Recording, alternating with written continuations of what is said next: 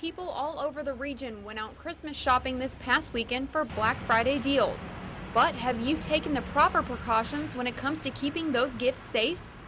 Given the economic times, it can be a problem. Hazard police officials are warning stealing can go hand in hand with the season of giving. Usually at this time of year, there's a steady increase in that type of activity.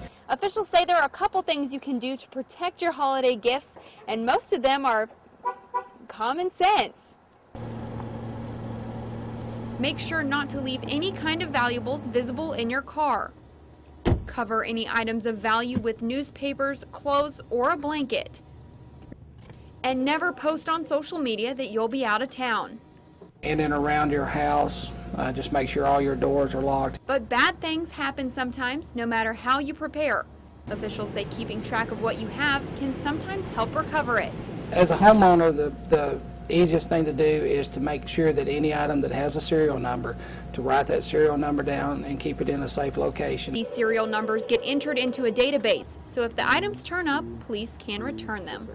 In Perry County, Haley Minogue, WYMT Mountain News.